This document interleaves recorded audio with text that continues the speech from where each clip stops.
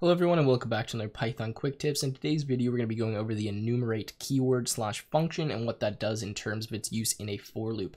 Now what I want to do is just uh, introduce a problem here that enumerate can solve for us. So essentially let's say we have a list here like apples, pears, oranges, fruits. We want to loop through the list and we want to get the elements in our list as well as the index of those elements. Very common problem. You need to do this for tons of different exercises and I'm sure you guys have created a solution like I'm about to introduce here.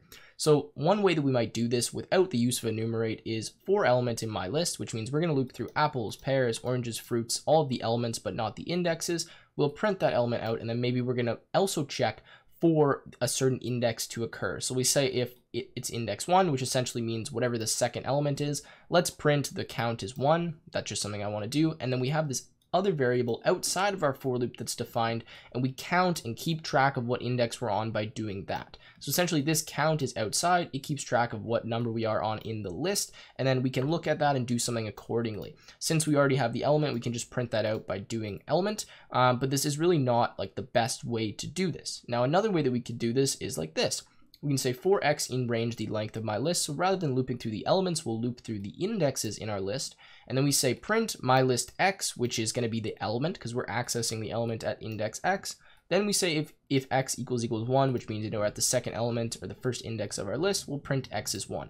Now these are fine, these work, but I'm going to show you a more elegant solution up here um, that's much better. So what you can actually do is use an enumerate keyword, which allows you to loop through not only the index, but the element as well. So we can say for x element in enumerate, and then we put my underscore list like this. And then I'll just show you what we can actually do here. We can print x element, and I'll show you what this looks like. So I'm going to erase these so that we don't see these.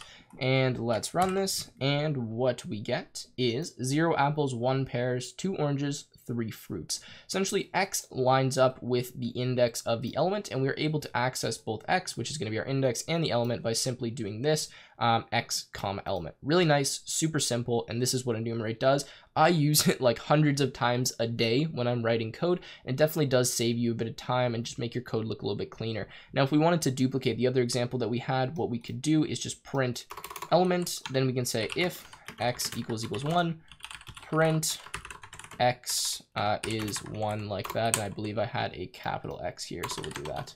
Okay, so if we run that, we get the same thing. Apples, pears, X is 1, oranges, fruits, and there we go. That is how enumerate works. Hopefully this helped you guys out a bit. If you have any questions, feel free to leave them down below. And as always, let me know if you want to see any other things in this Python Quick Tips series.